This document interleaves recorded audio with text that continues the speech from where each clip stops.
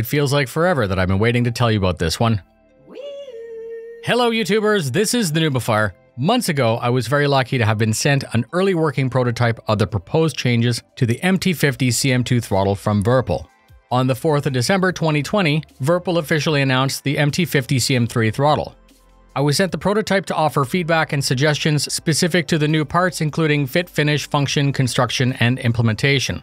This was done in secret, however, now that the release is official, I would like to take you through the product, so welcome to my review and overview of the MT50 CM3 throttle from Virpil.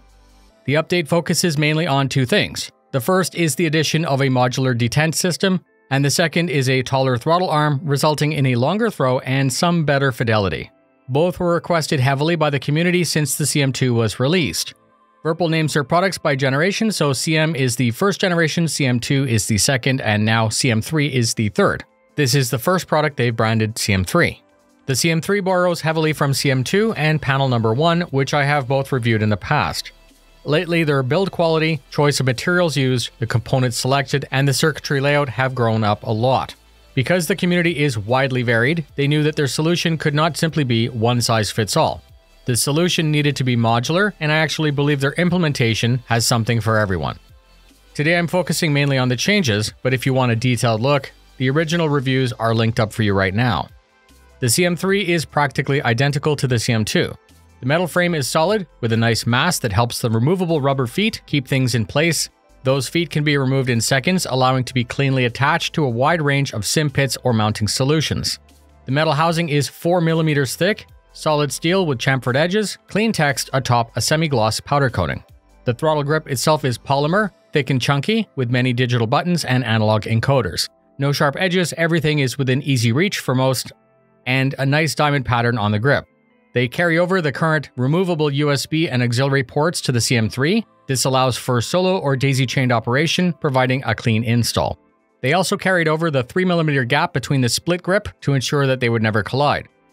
What is updated is the detent system and the extended throttle arms.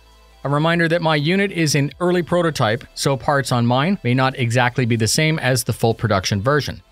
The housing around the throttle was modified to accept two detents, which are held in place externally with Allen bolts. The threaded parts are metal, ensuring they'll never strip and can hold the detents solid exactly where you place them. This modular implementation is actually super slick because you're free to mix and match the included parts, achieving their goal of true customization. Both axes has its own lever, which lifts the cam bearing allowing for paired or split operation. The bearing rides friction free, the lever is spring loaded giving a satisfying mechanical feel with a tactile feedback. No binding even after two months of use, and because it's external, maintenance is easy with a Q-tip or even a compressed air duster. The lever that touches your finger can pivot to provide comfort to the end user. Included are five sets of detents. The classic detent has a stop for afterburner and for idle. You need to lift up on the lever to move into afterburner or into engine shutoff. But to return, you do not need to use the lever. Classic Detent Plus is the second one and is similar but has small grooves which will let you feel a tactile bump as you come close to the lockouts. These indicate to you through a positive tactile return in the grip when you're about to cross back out of afterburner or out of cutoff. These four can be mixed and matched, but the reality is all of them can be mixed and matched, giving you extreme granularity in how your throttle behaves. The next pair is what's called the Warthog set, where you need to lift to get in or out of afterburner or in or out of cutoff. I found that extra lockout could lead to more frequent fumbling when making rapid changes, but I quickly got accustomed to the new levers and mistakes became less frequent. The lockout does exactly what it's designed to and operates smoothly. The next two are tactile and require no lifting of levers. These are meant to operate quickly and provide the user with a bump that's easy to feel. The acrobatic set are referenced to provide a feedback between 10 and 20% and at 75 to 85%. Again, these options can be mixed, plus you can choose to use only one. And the last option is a single detent called Cosmosim for Space Sim pilots. A game like Star Citizen has a throttle which includes SCM, Space Combat Maneuvering Limit is the speed at which the ship becomes less acrobatic. Staying below that speed maximizes the acrobatic performance of the ship, improved locking time, and gimbal tracking performance. In testing, we know that each ship has a slightly different SCM limit. Because this can be quickly adjusted by releasing the screws, repositioning the bump, and then locking the adjustment down, you could actually move your SCM bump as you change ships. I never found the lack of a detent to be super critical on the CM2. Star Citizen does have a visual indicator that you can clearly see on your HUD.